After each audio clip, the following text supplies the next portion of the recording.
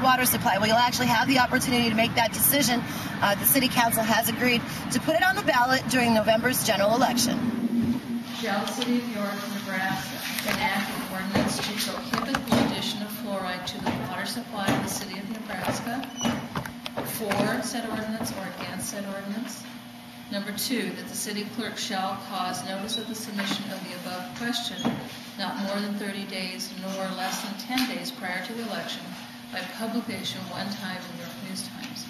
Number three, the city clerk is directed to certi- certify a copy of this resolution prior to September 2, 2008 to the county clerk election commissioner of York County, Nebraska, who shall designate the polling places, appoint the elected officials, and otherwise conduct the election as provided by law.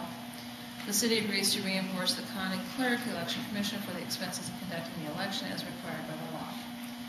Um, Date of the state. Now remember that when it comes to voting, a vote in favor of the ordinance would prohibit fluoride from being added to the water, and a vote against the ordinance would actually make it happen. And they will have to, as mandated by state law. This is Melanie Wilkinson, YorkNewsTimes.com.